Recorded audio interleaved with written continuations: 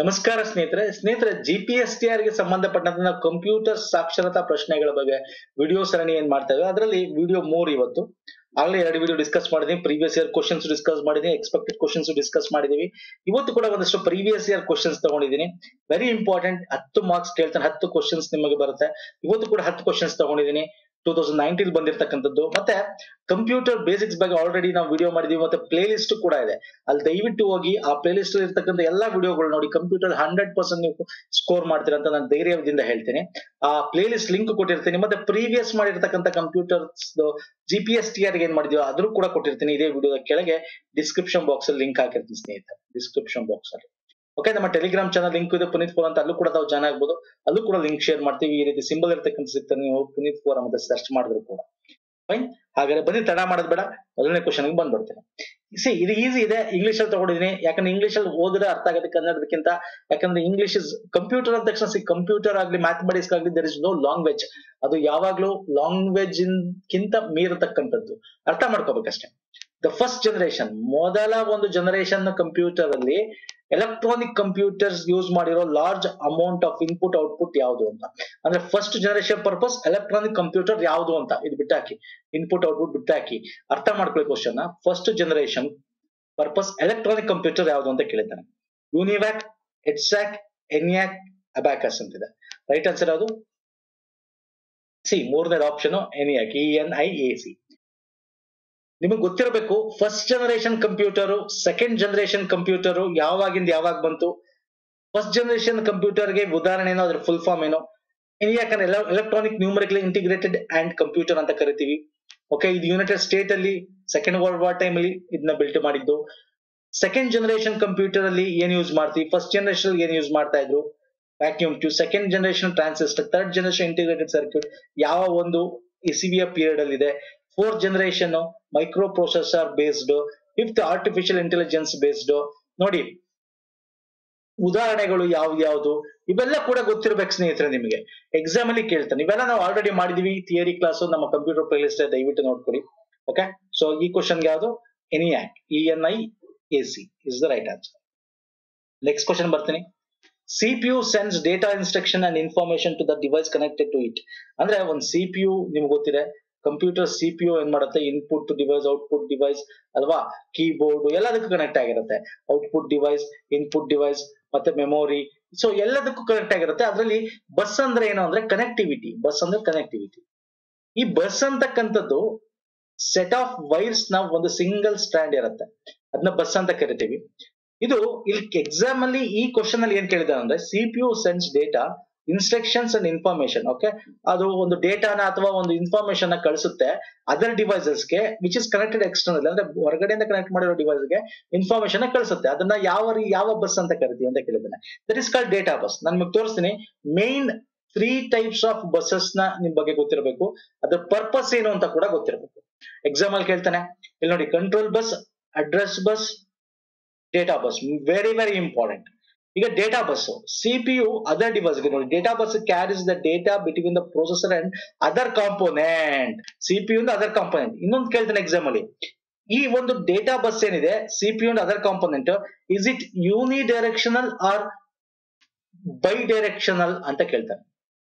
ಅಂದ್ರೆ other device ಇಂದ C P ಯುಗೆ ಸಿ ಪಿ ಯು ಇಂದ ಅದರ್ ಡಿವೈಸ್ಗೆ ನೋಡಿ, ಇಲ್ಲಿ ನೋಡಿ ಆರೋ ಮಾರ್ಕ್ ಇಲ್ಲೂ ಇದೆ ಇಲ್ಲೂ ಇದೆ. So it is a bidirectional it is a bidirectional ಈಗ ಅಡ್ರೆಸ್ ಬಸ್ ಏನಿದೆ ಅಡ್ರೆಸ್ ಕಳಿಸ್ತಕ್ಕಂಥದ್ದು ಸಿ ಪಿ ಯು ಅಂದ ಎಲ್ಲಿ ಕಳಿಸ್ಬೇಕು ಅಲ್ಲಿಗೆ. ಸೊ ಇಟ್ ಈಸ್ ಎ ಏನೋ ಸಿ ಪಿ ಯು ಟು ಬೇರೆ address bus is unidirectional ಮತ್ತೆ ಕಂಟ್ರೋಲ್ ಬಸ್ ನೋಡಿ address bus carries memory address from the processor to other component such as primary storage input output device address bus is unidirectional ನೋಡಿ, ಇನ್ನ control bus ಇದೆ. Control bus ಅಂತಕ್ಕಂಥದ್ದು ಏನು ಅಂದ್ರೆ part of a system bus and use by CPU for communicating with other device within the computer ಅಂದ್ರೆ ಅದು ಮೆಮೊರಿಗೆ ಆಗಿರ್ಬೋದು, ಬೇರೆ ಬೇರೆ ಡಿವೈಸ್ ಜೊತೆ ಕನೆಕ್ಟ್ ಮಾಡಿ, ಮಾಡಕ್ ಮಾಡಿರುತ್ತೆ. It is always bidirectional ಇಲ್ಲೂ ಕೂಡ ಮೆಮೊರಿ ಜೊತೆ ಕೂಡ ಇರೋದು ಬೈ ಡೈರೆಕ್ಷನಲ್ ಓಕೆ ಇಲ್ಲೂ ಕೂಡ ಇನ್ಪುಟ್ ಔಟ್ಪುಟ್ ಡಿವೈಸ್ ಜೊತೆ ಕಂಟ್ರೋಲ್ ಬಸ್ ಕೆಲಸ ಮಾಡುತ್ತೆ. ಅದರ್ ಡಿವೈಸಸ್ಗೆ ಇನ್ಫಾರ್ಮೇಶನ್ ಕಳಿಸುತ್ತೆ ಅಷ್ಟೇ. ಅದು ಸಿಪಿಯು ಕಳಿಸಬಹುದು ಇನ್ಪುಟ್ ಔಟ್ಪುಟ್ ಕೂಡ ಮೆಮೊರಿ ಕಳಿಸಬಹುದು ಅದಕ್ಕೆ ಇದು ಆಲ್ವೇಸ್ ಬೈ ಡೈರೆಕ್ಷನಲ್ ಇರುತ್ತೆ. ಸೊ ಇದು ಗೊತ್ತಿರಬೇಕು three types of main busses in computer system okay so ಈ ಕ್ವಶನ್ಗೆ ಏನ್ answer data bus is the right answer next ಬನ್ನಿ. ಏನ್ input device that is use to read universal product code available on the product to be sold is ಅಂದ್ರೆ, ಈಗ ಯಾವ್ದಾರ ಒಂದು, ಈಗ ಮ್ಯಾಗಿ ಇದೆ. That is universal product Maggi packet ಅದ್ರ ಮೇಲೆ ಒಂದು ಕೋಡ್ ಇರುತ್ತೆ. ಅದನ್ನ ಏನ್ ಮಾಡ್ತಾರೆ ಕೈಲಿ? ಹಿಂಗ್ ಇಟ್ಕೊಂಡು ಸ್ಕ್ಯಾನ್ ಮಾಡ್ತಾರೆ ಕೈಯಿಂದ. ಇಟ್ಕೊಂಡು ಒಂದು ಮೆಷಿನ್ ಈ ಸ್ಕ್ಯಾನ್ ಮಾಡಿದಾಗ ಏನಾಗುತ್ತೆ? ಅದ್ರ ಬೆಲೆ, ಅದ್ರದ್ದೆಲ್ಲ ಇನ್ಫಾರ್ಮೇಶನ್ ಬರುತ್ತೆ. ಇನ್ ಪ್ರಿಂಟ್ ಔಟ್ ತಕ್ಕೊಡ್ತಾರೆ ಬಿಲ್ನ. ಸೊ ವಾಟ್ ಈಸ್ ದಟ್ ಏನದು? Bar code reader optical marker reader optical character reader magnetic ink character recognition full form ಇದು ಕೊಟ್ಟಿದ್ದಾರೆ. ಒಂದ್ಸಲ ನಿಮಗೆ ಇದನ್ನ ಒಂದು ಕ್ವಶನ್ ಆಗಿ ಕೇಳ್ತಾನೆ. ಎಂ ಐ ಸಿ ಆರ್ನ ಫುಲ್ ಫಾರ್ಮ್ ಏನು ಅಂತ ಕೇಳ್ತಾನೆ. ಮ್ಯಾಟಿಕ್ ಇಂಕ್ ಕ್ಯಾರೆಕ್ಟರ್ ರೆಕಗ್ನೈಸೇಷನ್ ಒಂದ್ಸಲ O C R full form ಏನು ಅಂತ ಕೇಳ್ತಾನೆ. ಅಥವಾ ಓ ಸಿ ಆರ್ ಓ ಬಗ್ಗೆ ಹೇಳ್ತಾನೆ ಸಿ ಬಗ್ಗೆ ಹೇಳ್ತಾನೆ ಆರ್ ಅಂದ್ರೆ ಏನು ಅಂತ ಕೇಳಬಹುದು. ಅಥವಾ ಸಿ ಅಂದ್ರೆ ಏನು ಅಂತ ಕೇಳಬಹುದು. ಆಪ್ಟಿಕಲ್ ಕ್ಯಾರೆಕ್ಟರ್ ರೀಡರ್ ಇದು ಓ ಎಂ ಆರ್ ನಾವು ಓ ಎಂ ಆರ್ ಶೀಟ್ ನೀವು exam ಬರೀತಿರಲ್ಲ. Optical mark reader bar code B C R ಅಂತ ಕರಿತೀವಿ. ಓಕೆ ಇದು ಗೊತ್ತಿರಬೇಕು. ಸೊ ಇದು ಯಾವ್ದು ಪರ್ಪಸ್ಗೆ ಯೂಸ್ ಮಾಡ್ತೀವಿ ಅನ್ನೋದು ಕೂಡ ನಾನು ನಿಮಗೆ ತೋರಿಸ್ತೇನೆ. ಈಗ ಬಾರ್ ಕೋಡ್ ನಾವು ಈ ಪ್ರಾಡಕ್ಟ್ ಈಗ ಒಂದು ಬೇರೆ ಬೇರೆ ಒಂದು ಮಾಲ್ಗಳಲ್ಲಿ ಶಾಪಿಂಗ್ ಇದರಲ್ಲೆಲ್ಲ ಯೂಸ್ ಮಾಡೋದು ಬಾರ್ ಕೋಡ್ ಈಗ ಎಕ್ಸಾಂಪಲ್ ಈ ಕ್ವಶನ್ ಕೂಡ ಬಾರ್ ಕೋಡ್ಗೆ ಸಂಬಂಧಪಟ್ಟಂತೆ ಕೇಳಿದ್ದಾನೆ. ಇದು ಬಿಟ್ರೆ O M R O M R sheet ಗೊತ್ತು? ನಿಮಗೆ ಒ ಎಂ ಆರ್ ನೀವು ಏನ್ ಮಾಡ್ತೀರಾ? ಆ ಒಂದು ಆನ್ಸರ್ ಶೀಟ್ನ ಇಲ್ಲಿ ಹಾಕಿದ್ರೆ ಯಾವ್ದು ಕರೆಕ್ಟ್ ಯಾವ್ ತಪ್ಪು ಅಂತಕ್ಕಂಥದ್ದು ಮೇನ್ ರೆಫರೆನ್ಸ್ ಜೊತೆ ಇಟ್ಕೊಂಡು ಟ್ಯಾಲಿ ಮಾಡಿ ನಮಗೆ ಇನ್ಪುಟ್ ಔಟ್ಪುಟ್ ರಿಸಲ್ಟ್ನ ಕೊಟ್ಬಿಡುತ್ತೆ O M R okay O C R optical character recognition ಇದು ನಾವು ಏನ್ ಕ್ಯಾರೆಕ್ಟರ್ನ ಹುಡುಕ್ಬೇಕು ಅದನ್ನ ಮಾಡ್ತಕ್ಕಂಥ ಸ್ಕ್ಯಾನಿಂಗ್ ಮಾಡ್ತಕ್ಕಂಥ ಒಂದು ರೀತಿ ಡಿವೈಸ್ ಮತ್ತೆ ಇಮ್ಯಾಜ್ ಸ್ಕ್ಯಾನರ್ ಅಂತ ಕೂಡ ಅದನ್ನ ಕರಿತೀವಿ. ಇಲ್ಲಿ ಎಂ ಐ ಸಿ ಆರ್ ಅಂದ್ರೆ ಮ್ಯಾಟಿಕ್ ಇಂಕ್ ಮ್ಯಾಟಿಕ್ ಇಂಕ್ ಅಂತಂದ್ರೇನು? ನಮ್ಮ ಒಂದು ಚೆಕ್ ಬುಕ್ಗಳಲ್ಲಿ ಇರುತ್ತೆ. ಈ ಕೆಳಗಡೆ ಒಂದು ರೀತಿ ಸಿಂಬಲ್ಸ್ ಗಳೇನೋ ಇರುತ್ತೆ. That is called magnetic in character recognition ಅಂತ. ಇದನ್ನ ಇದನ್ನ ಯೂಸ್ ಮಾಡ್ಕೊಂಡು ನಾವು ಇನ್ಫಾರ್ಮೇಶನ್ ಗಳನ್ನ ಚೆಕ್ ಬುಕ್ ಇಂದ ಯಾರ್ದು ಅಂತ ನಾವು ಕಂಡುಹಿಡಿಯಬಹುದು ಇದನ್ನ ಓಕೆ ಚೆಕ್ ಬುಕ್ ಸಿಕ್ಕಿದಾಗ ಅದು ಯಾವ ಸಂಬಂಧಪಟ್ಟಂತೆ ಅವರ ಇನ್ಫಾರ್ಮೇಶನ್ ಡಿಕೋಡ್ ಮಾಡಿಟ್ಟಿರ್ಬೋದು. ಓಕೆ ಇದು ಗೊತ್ತಿರಬೇಕು ಆಪ್ಟಿಕಲ್ ಕ್ಯಾರೆಕ್ಟರ್ ರೆಕಗ್ನೈಸೇಷನ್ ಅಂದ್ರೆ ಏನು ಅಂತ. ಈ ಕ್ವಶನ್ಗೆ bar code reader is the right answer ಇದನ್ನ ನಾವು ಪಾಯಿಂಟ್ ಆಫ್ ಸೇಲ್ಸ್ ಅಂತ ಕೂಡ ಕರಿತೀವಿ. ಒಂದೊಂದ್ ಕಡೆ ಪಾಯಿಂಟ್ ಆಫ್ ಸೇಲ್ಸ್ ಅಂತ ಕೂಡ ನಾವು ಮಾಲ್ಗಳಲ್ಲಿ ಹೋಟೆಲ್ಗಳಲ್ಲಿ ಕರಿತೀವಿ. ನೆಕ್ಸ್ಟ್ ಬನ್ನಿ. ನೆಕ್ಸ್ಟ್ ಕ್ವಶನ್ ಹೋಗೋಣ. S R A M stands for ಇದ್ರ ಕಂಪ್ಲೀಟ್ ಫುಲ್ ಫಾರ್ಮ್ ಏನು ಅಂತ ಕೇಳಿದ್ದಾನೆ. ಸೇವ್ಡ್ ರ್ಯಾಂಡಮ್ ಆಕ್ಸೆಸ್ ಮೆಮೊರಿ ಇದೆ ಸೆಕೆಂಡರಿ ರ್ಯಾಂಡಮ್ ಆಕ್ಸೆಸ್ ಇದೆ ಸ್ಟ್ಯಾಟಿಕ್ ರ್ಯಾಂಡಮ್ ಆಕ್ಸೆಸ್ ಇದೆ ಸ್ಟೋರ್ಡ್ ರ್ಯಾಂಡಮ್ ಆಕ್ಸೆಸ್ ಮೆಮೊರಿ ಇದೆ. ಸೊ ರ್ಯಾಂಡಮ್ ಆಕ್ಸೆಸ್ ಮೆಮೊರಿಲಿ ಓಕೆ ನಾವು D R A M S R A M ಅಂತ ಓದಿರ್ತೀರಾ? ಓಕೆ ನಾನು ಇಲ್ಲಿ ಕಂಪ್ಲೀಟ್ ಡೀಟೇಲ್ ಮಾಡಕ್ ಹೋಗಲ್ಲ.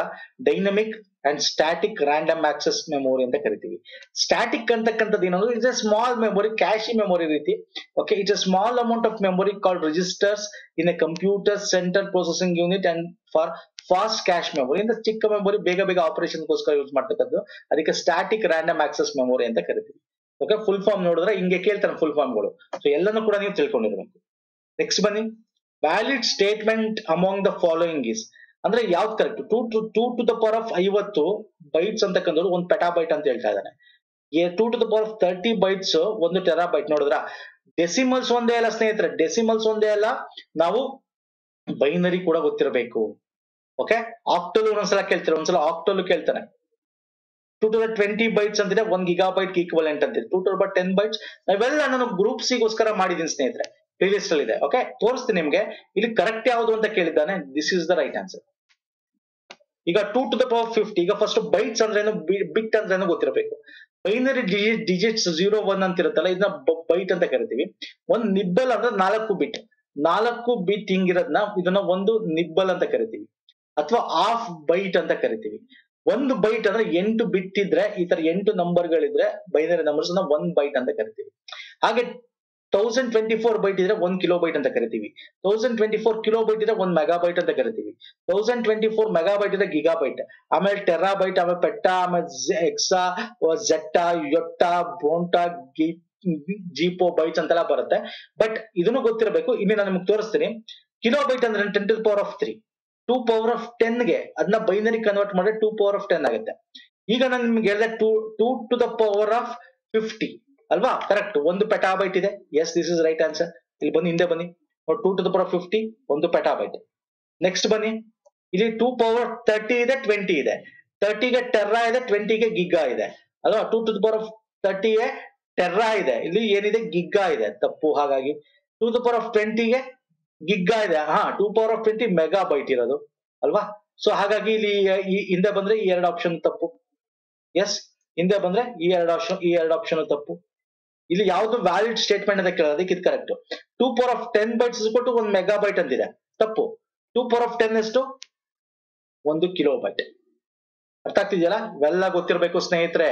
ವೆರಿ ವೆರಿ ಇಂಪಾರ್ಟೆಂಟ್ ನೋಡ್ಕೊಳ್ಳಿ ಕೊಟ್ಟಿದ್ದೀನಿ. ವೆರಿ ವೆರಿ ಇಂಪಾರ್ಟೆಂಟ್ ನೆಕ್ಸ್ಟ್ ಬನ್ನಿ.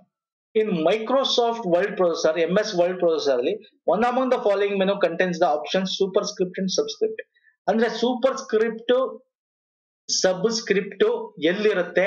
ಇನ್ ಎಂ ಎಸ್ ವರ್ಡ್ ಅಲ್ಲಿ ಅಂತ ಕೇಳಿದ್ದಾನೆ. ಓಕೆ ಎಂ ಎಸ್ ವರ್ಡ್ ಆಗಿರ್ಬೋದು ಅಥವಾ ಬೇರೆ ಯಾವುದೇ ಎಂ ಎಸ್ ಆಫೀಸ್ ಅಲ್ಲಿ ಆಗಿರ್ಬೋದು. ಸೂಪರ್ ಸ್ಕ್ರಿಪ್ಟ್ ಸಬ್ಸ್ಕ್ರಿಪ್ಟ್ ಅಂದ್ರೂ ಎಕ್ಸ್ ಕೆಳಗಡೆ ಟು ಇದು ಸಬ್ ಸ್ಕ್ರಿಪ್ಟ್ ಅಂತ ಕರಿತೀವಿ. X to the power of square X square ಅಂದ್ರೆ ಸೂಪರ್ ಸ್ಕ್ರಿಪ್ಟ್ ಅಂತ ಕರಿತೀವಿ. ಓಕೆ ಇದು ಎಲ್ಲಿರುತ್ತೆ? ಇದು ಎಲ್ಲಿರುತ್ತೆ ಅಂದ್ರೆ ಹೋಮ್ ಮೆನುಲ್ ಇರುತ್ತೆ. ಇದು ಕೂಡ ಮಾಡಿದೀನಿ ಸ್ನೇಹಿತರೆ. ನೋಡಿ ಹೋಮ್ ಮೆನುಗೆ ಹೋದ್ರೆ ಅಲ್ಲಿ ಈ ತರ ನಾವು ಆಪ್ಷನ್ ನೋಡ್ತೀವಿ. ಎಕ್ಸ್ ಕೆಳಗಡೆ ಎಕ್ಸ್ ಇದು ಸಬ್ಸ್ಕ್ರಿಪ್ಟ್ ಸೂಪರ್ ಸ್ಕ್ರಿಪ್ಟ್ ಎಲ್ಲಿರುತ್ತೆ? ಹೋಮ್ ಮೆನು ಇರುತ್ತೆ. So right answer home menu ಅರ್ಥ ಆಯ್ತಲ್ಲ? ವೆರಿ ಇಂಪಾರ್ಟೆಂಟ್ ಕ್ವಶನ್ ನೆಕ್ಸ್ಟ್ ಬನ್ನಿ. In a word processor the short cut key combination use to replace text in the document ಅಂದ್ರೆ, ಒಂದು short ಕಟ್ನ use ಮಾಡಿ, ನಾವು ಏನೋ ಒಂದು ಟೈಪ್ ಮಾಡಿರ್ತೀವಿ ಹಿಂಗೆ, ಏನೋ ಟೈಪ್ ಮಾಡಿರ್ತೀವಿ. ಇಲ್ಲಿ ಒಂದು ಪದನ ಇನ್ ಒಂದು ಪದ ಇರುತ್ತೆ ಶೇರ್ ಅಂತ ಇರುತ್ತೆ, ಅಥವಾ ಇಂಟು ಅಂತ ಇರುತ್ತೆ ಅಂತ ಇಟ್ಕೊಳ್ಳಿ. ಇಂಟು ನ ತೆಗೆದು ಬರೀ ನಾನು ಇನ್ ಮಾಡಬೇಕು. ಇದನ್ನ ಐಡಿ ಎಲ್ಲೆಲ್ಲಿ ಇಂಟು ಇದೆ ಅದನ್ನ ಐಡೆಂಟಿಫೈ ಮಾಡಬೇಕು ಇನ್ ಇಂದ ರಿಪ್ಲೇಸ್ ಮಾಡಬೇಕು. ಇದನ್ನ ಶಾರ್ಟ್ ಕಟ್ ಕೀ ಯಾವ್ದು ಯೂಸ್ ಮಾಡ್ತೀವಿ ಅಂದ್ರೆ control H short cut keys ಬಗ್ಗೆ ಗೊತ್ತಿರಬೇಕು, ನಾನು ಮಾಡಿದೀನಿ, ಇದು ಕೂಡ ಮಾಡಿದೀನಿ ಸ್ನೇಹಿತರೆ. ಈಗ ನೋಡಿ ಕಂಟ್ರೋಲ್ ಎಚ್ ಅಂತಕ್ಕಂಥದ್ದು ಫೈಂಡ್ ಅಂಡ್ ರಿಪ್ಲೇಸ್ ಮಾಡ್ತಕ್ಕಂಥದ್ದು. ನಿಮ್ಗೆ ಕಾಣಿಸ್ಲಿಲ್ಲ ಅಂದ್ರೆ ನಾನು ಟೆಲಿಗ್ರಾಮ್ ಚಾನಲ್ ಇದನ್ನ ಕೊಡ್ತೀನಿ ಡೋಂಟ್ ವರಿ ಈಗ ಕಂಟ್ರೋಲ್ ನಾವು ಐ ನೋಡಿದ್ರೆ ಇಟಾಲಿಕ್ ಇದೆ. Control K insert hyper link ನೋಡಿ ಕಂಟ್ರೋಲ್ ಕೆ ಹೈಪರ್ ಲಿಂಕ್ನ ಒಂದು ಕ್ಲಿಕ್ ಮಾಡಿದ್ರೆ ಇನ್ನೊಂದು ಪೇಜ್ ಅದು hyper link control I control J ಏನಿದೆ, ಇವೆಲ್ಲ ಒಂದ್ಸಲ ಲಿಸ್ಟ್ ಅಲ್ಲಿ ಇದೆ. ನೋಡ್ಕೊಂಡ್ಬಿಡಿ ಸ್ನೇಹಿತರೆ, ಈ ಲಿಸ್ಟ್ ನಿಮ್ಗೆ ಕಾಣಿಸ್ತಿಲ್ಲ ಅಂದ್ರೆ ನಾನು ನಮ್ಮ ಒಂದು ಟೆಲಿಗ್ರಾಮ್ ಚಾನಲ್ ಕೊಡ್ತೀನಿ ಡೋಂಟ್ ನೆಕ್ಸ್ಟ್ ಬನ್ನಿ. ಇನ್ನು ಸ್ಪ್ರೆಡ್ ಶೀಟ್ ಅಂದ್ರೆ ಎಂ ಎಸ್ ಎಕ್ಸೆಲ್ ಅಲ್ಲಿ the calculation of the average of a given set of data could be formulated has ಅಂದ್ರೆ ನಾವು ಆವರೇಜ್ನ ಹೆಂಗ್ ಕ್ಯಾಲ್ಕುಲೇಟ್ ಮಾಡ್ತೀವಿ? ಸರಾಸರಿನ ಹೆಂಗ್ ಕ್ಯಾಲ್ಕುಲೇಟ್ ಮಾಡ್ತೀವಿ? ಯಾವ ಫಾರ್ಮುಲಾ ಯೂಸ್ ಮಾಡ್ತೀವಿ ಅಂತ ಕೇಳಿದಾನೆ ಇಸ್ ಈಕ್ವಲ್ ಟು ಆವರೇಜ್ ಒಂದು ರೇಂಜ್ ಕೊಟ್ಟಿರ್ತೀನಿ. ಈಗ ಎ ಒನ್ ಇಂದ ಬಿ ಒನ್ ತನಕ ಬಿ ಒನ್ ತನಕ ಅಥವಾ ಎ ಟೆನ್ ಇಂದ ಬಿ ಟೆನ್ ತನಕ ನಾವು ಆವರೇಜ್ ಸರಾಸರಿ ಕಂಡುಹಿಡಬೇಕು ಅಂತ ಕೊಟ್ಟಿದ್ರೆ ಯಾವ ಫಾರ್ಮುಲಾ ಯೂಸ್ ಮಾಡ್ತೀವಿ? ಇಸ್ ಈಕ್ವಲ್ ಟು ಆವರೇಜ್ ಈ ರೇಂಜ್ ಇಲ್ಲಿ ಬರಿತೀವಿ ಬ್ರಾಕೆಟ್ ಅಲ್ಲಿ. Is equal to range average ಅಂತ ಹಾಕ್ತಿವ. Average is equal to range ಅಂತ ಈ ರೇಂಜ್ನಲ್ಲಿ ಟೈಪ್ ಮಾಡ್ತೀವ. ಇಸ್ ಈಕ್ವಲ್ ಟು ರೇಂಜ್ ಇಷ್ಟು ಆವರೇಜ್ ಅಂತ ಹಾಕ್ತೀವ. ಸೊ ಯಾವ formula this is the right answer ನಿಮ್ಗೆ ಗೊತ್ತಿದೆ ಎಂ ಎಸ್ ಎಕ್ಸ್ ಅಲ್ಲಿ ಯಾವುದೇ ಫಾರ್ಮುಲಾ ಮಾಡಬೇಕು ಅಂದ್ರೆ, ಯಾವುದೇ ಕ್ಯಾಲ್ಕುಲೇಷನ್ ಮಾಡಬೇಕು ಅಂದ್ರೆ ಇಸ್ ಈಕ್ವಲ್ ಟು ಬರೀಬೇಕು, ಅದು ಸಮ್ ಆದ್ರೆ ಸಮ್ ಬರಿಬೇಕು ಆವರೇಜ್ ಆದ್ರೆ ಆವರೇಜ್ ಬರಿಬೇಕು ಓಕೆ ಆವರೇಜ್ ಅಥವಾ ಇಫ್ ಆದ್ರೆ ಇಫ್ ಬರಿಬೇಕು, ಅಥವಾ ಏನ್ ಮಾಡ್ತೀವೋ ಅದನ್ನ ಬರೋದು ಆಮೇಲೆ ಆ ರೇಂಜ್ನ ಹಾಕ್ಬೇಕು.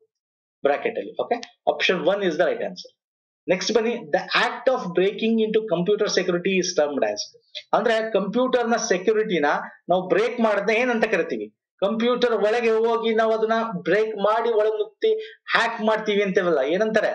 ಅಲ್ವಾ, ಒಂದು ಸಿಸ್ಟಮ್ನ ಹ್ಯಾಕ್ ಮಾಡೋ ಒಂದು website this call hacking surfing ಅಲ್ಲ ಬ್ರೌಸಿಂಗ್ ಅಲ್ಲ, ಇದೆರಡು ತಪ್ಪು. ಫಿಶಿಂಗ್ ತುಂಬಾ ಜನ ಕನ್ಫ್ಯೂಸ್ ಆಗುತ್ತೆ. ಫಿಶಿಂಗ್ ಅಂದ್ರೆ ಏನು ಅಂದ್ರೆ, ನೀವಾಗ ನೀವೇ ಇನ್ಫಾರ್ಮೇಶನ್ ನಮಗೆ ಬಿಟ್ಕೊಡ್ಬೇಕು. ಅದಕ್ಕೆ ಏನಾದ್ರು ಒಂದು ಕಳ್ಸ್ಕೊಡ್ತೀವಿ. ಓಕೆ ಮೇಲ್ ಮುಖಾಂತರ ಮೆಸೇಜ್ ಮುಖಾಂತರ ಫೋನ್ ಮುಖಾಂತರ ಏನೋ ಕೇಳ್ತೀವಿ, ನೀವು ಅದನ್ನ ಹೇಳ್ಬಿಡ್ತೀರಾ? ನಿಮ್ಮ ಇನ್ಫಾರ್ಮೇಶನ್ ನೀವು ಹೇಳ್ತೀರಾ? ಅದನ್ನ ಫಿಶಿಂಗ್ ಅಂತ. ಇಸ್ ಅ ಸ್ಕ್ಯಾಮ್ ಫಿಶಿಂಗ್ ಅಂದ್ರೆ is a scam where thieves attempt to steal personal financial account information ನಿಮ್ಮ ಪರ್ಸನಲ್ ಫೈನಾನ್ಷಿಯಲ್ ಇನ್ಫಾರ್ಮೇಶನ್ ನಾವು ತಗೊಳ್ತಕ್ಕಂಥದ್ದು ಒಂದು ಎಲೆಕ್ಟ್ರಾನಿಕ್ ಮೆಸೇಜ್ ಏನೋ ಒಂದು ಕಳಿಸಿ ತಗೊಳ್ತಕ್ಕಂಥದ್ದು. ಅದು ಫಿಶಿಂಗ್ ಅಂತ ಕರಿತೀವಿ. ಸೊ ಇಲ್ಲಿ ಕಂಪ್ಯೂಟರ್ ಸಿಸ್ಟಮ್ನ ಬ್ರೇಕ್ ಮಾಡೋದನ್ನ ಹ್ಯಾಕಿಂಗ್ ಅಂತ ಕರಿತೀವಿ. ಓಕೆ ನೆಕ್ಸ್ಟ್ ಬನ್ನಿ. The key combination of the world magnitude ಅಂತಕ್ಕಂಥದ್ನ ನುಡಿಲಿ ಬರಿಬೇಕಂದ್ರೆ ಹೆಂಗ್ ಬರಿತೀವಿ? ಸೂಪರ್ ಕ್ವಶನ್ ಇದನ್ನ ನಿಮಗೆ ಹೋಮ್ವರ್ಕ್ ಕೊಡ್ತೀನಿ ಸ್ನೇಹಿತರೆ, ದಯವಿಟ್ಟು ಕಮೆಂಟ್ ಅಲ್ಲಿ ಕಮೆಂಟ್ ಮಾಡಿ, ನುಡಿ ಬಗ್ಗೆ. ಮಾಡಿದೀವಿ ಎಷ್ಟೊಂದು ವಿಡಿಯೋ ನುಡಿ ಬಗ್ಗೆ. ಯಾವ್ದನ್ನ ಇಲ್ಲಿ ನಾವು ಟೈಪ್ ಮಾಡ್ತೀವಿ ನಾಲ್ಕು ಆಪ್ಷನ್ ಇಲ್ಲ ನೀವು ತಿಳಿಸಿ. ಇಲ್ಲಿಗೆ ವಿಡಿಯೋ ಮುಗಿಸ್ತೀನಿ. ಲೈಕ್ ಮಾಡಿ ಶೇರ್ ಮಾಡಿ ಪ್ರೀವಿಯಸ್ ವಿಡಿಯೋಸ್ಗಳು ಇದೇ ವಿಡಿಯೋದ ಕೆಳಗೆ ಡಿಸ್ಕ್ರಿಪ್ಷನ್ ಬಾಕ್ಸ್ ಅಲ್ಲಿ ಹಾಕಿರ್ತೀನಿ. ಅಲ್ಲಿಂದ ನೀವು ನೋಡ್ಬೋದು. ಕಂಪ್ಯೂಟರ್ ಆಗಿರ್ಬೋದು ಇಂಗ್ಲಿಷ್ ಆಗಿರ್ಬೋದು. Okay G P S T ಆಗಿ ಸಂಬಂಧಪಟ್ಟಂತೆ ಆಲ್ರೆಡಿ ಮಾಡಿರೋದು ಜಿ ಕೆ ಆಗಿರ್ಬೋದು. ನಮ್ಮ ಟೆಲಿಗ್ರಾಮ್ ಚಾನಲ್ ಲಿಂಕು ಇರುತ್ತೆ. ನೆಕ್ಸ್ಟ್ ವಿಡಿಯೋ ಪುನಃ ಸಿಗ್ತೀನಿ. ನಮಸ್ಕಾರ. ಧನ್ಯವಾದಗಳು.